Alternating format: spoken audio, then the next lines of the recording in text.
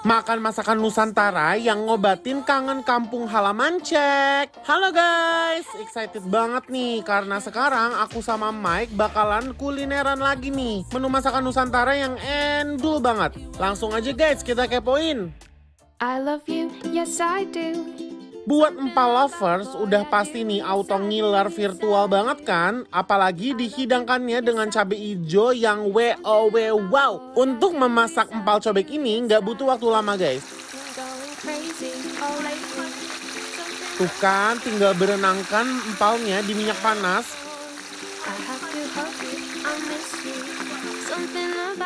Penyet penyet penyet. Huh, empalnya bener-bener bikin gak rela bagi-bagi deh ini. Makin mantep lagi nih ya kalau kita tambahin serundengnya guys. Eits, prima donanya jangan sampai ketinggalan yaitu cabai hijaunya. Mulut auto nggak sabar banget nih pengen langsung sikat empalnya.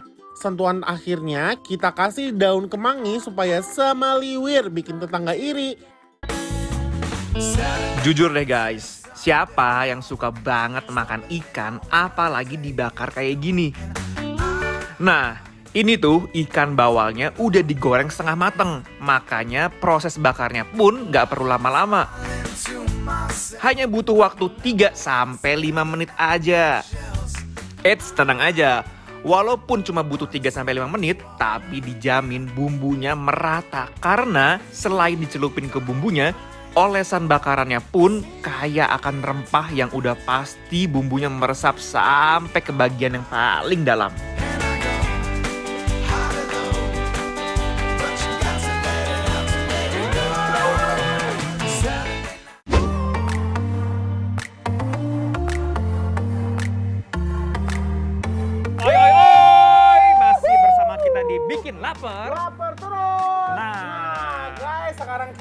Ada di warung Pak Edi. Daerah mana kak? Kebon Di Siri. depan mata aku adalah sop iga guys. Yang ini Uh. aromanya udah ke mana-mana nih.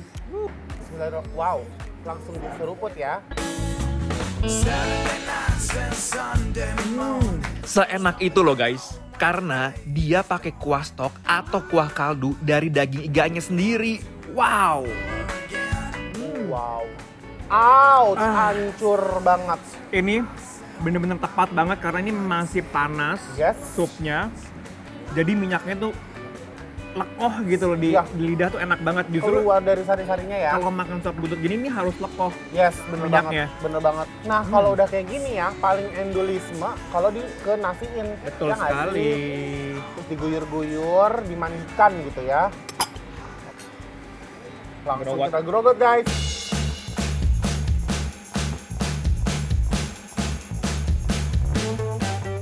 Gerogot tiganya guys langsung melepaskan diri. Ini bener-bener kolaborasi yang sempurna dengan kuahnya.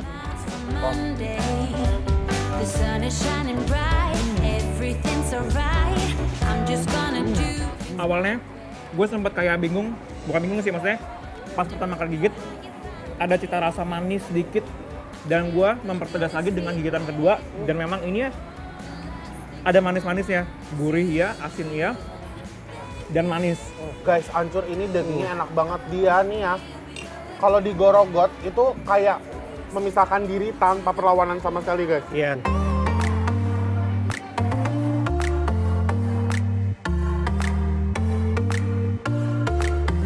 Hmm, tuh, lihat dia langsung jatuhan.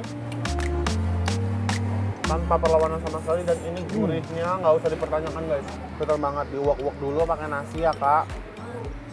Tuh, let's go. Makan guys. Sayurannya juga ya, bikin sop iga ini jadi sempurna banget. Bikin satu mangkok ini jadi fresh banget. Nice, ini tempe mendoan gitu ya. Nah, tempe mendoan ini emang cocok banget untuk nemenin makan dengan si sop ini. Yes. Tuh guys. Tuh. Aku akan makan dengan cara yang seperti ini. Uh, ditaruh di sini ya. Wow, inovasi ya. Uh. Ini caranya.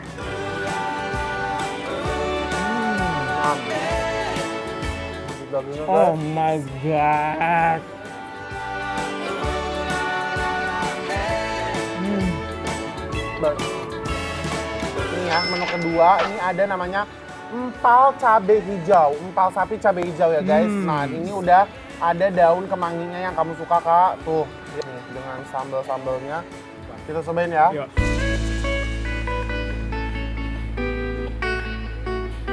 Sambal cabai hijaunya bener-bener fresh banget loh ini. Hmm, bumbunya otentik banget nih, bener-bener merasuki potongan daging empalnya guys.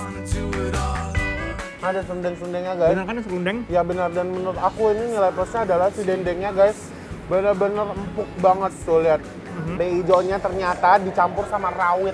Ternyata Jadi ini gue pikir ini hanya cabai hijau biasa. betul Ternyata mengancam guys nih. coba. Unik banget nih karena empalnya pakai serundeng yang which is pasti bakalan nambah gurih empalnya guys. Disuap pakai nasi, fix no debat. Ini juaranya. Nah ini kayaknya nggak lengkap kalau nggak pakai tahu. Tahu Ini tahunya udah mengundang-undang aku gitu loh. Kalau aku nyuir banget Tarik dulu. ya. Kita buka tahunya. Ini tahunya sih nggak? Oh, ini ada isiannya Gilang. Apa tuh Ini isiannya? isiannya kayak tahu bakso gitu loh. Uh enak nih. Ini kayaknya di wok-wok dulu terus pakai tahu kayaknya enak ya kak. Coba ya aku mau coba originalnya dulu. Oke. You Waktu aku eksekusi pakai tahunya guys, alama nikmatnya tak tertandingi.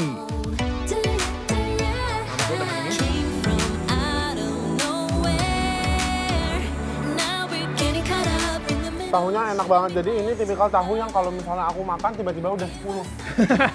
Saking enaknya guys dan nggak kerasa sama sekali. Nih guys kita gabung tahu, empal sama nasi. Let's go. Lihat nih guys, aku makan sama Mike bener-bener masakan khas Nusantara. Kalian harus banget langsung auto ngiler kan?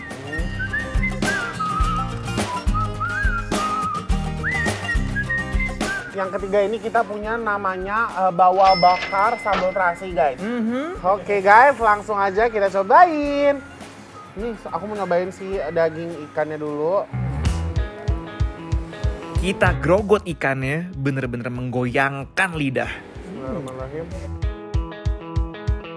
Oke. Ya, Uh, ini dia nih, bumbu bakaran ikan yang perfect ya nggak sih? ya. Manisnya dapat, gurihnya dapat, Sambel lah. sambal banget. Kalau gue nih ya, di sini udah ada sambal terasinya. Tuh lihat, uh, membuncah. Uh, kita wok ya. Kita uak pakai sambalnya. Ini makannya harus ekstra hati-hati ya guys, karena durinya agak banyak. Yes, betul banget. Walaupun agak banyak, tapi ini endol. Let's go. Makan guys. Disusul dengan seboran sambal terasi. Beh, nikmatnya nggak ada lawan. Oh, ada Tipis. kemangi. Jadi itu kemangi itu tipis banget. Kalau kalian perhatiin, ini tuh kemangi. Tuh lihat. Nah, Oh iya bener-bener bener ada sambal uh, ada kemanginya ya di dalamnya. Wah enak sih ini. dan ini ya, by the way, nih. Ini terasinya tuh nggak kuat banget karena gitu ketutup sama si eh, rasa tomatnya itu gitu loh. Ah, enak ya, Nah. enak banget. Nah, buat kalian yang penasaran kita lagi makan di mana aja, langsung aja guys seperti biasa follow Instagram kita @bikinlapertransTV karena semua infonya ada di sana.